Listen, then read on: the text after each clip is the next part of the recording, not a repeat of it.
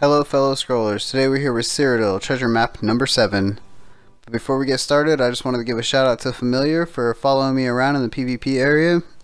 Give him a little wave there. Alright, he was just making sure that I didn't die because I was really deep in enemy territory. I do really appreciate that.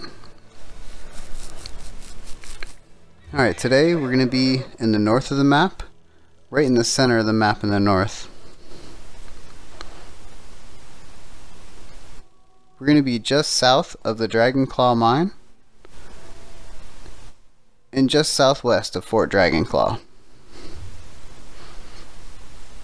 It's going to be right down here on this island. There's my homie familiar.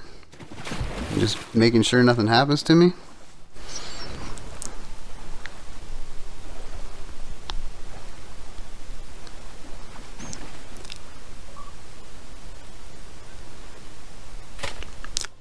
I hope the video was helpful, and as always, thanks for watching. Let's see what we got. Any motifs? Motif? Motif? No.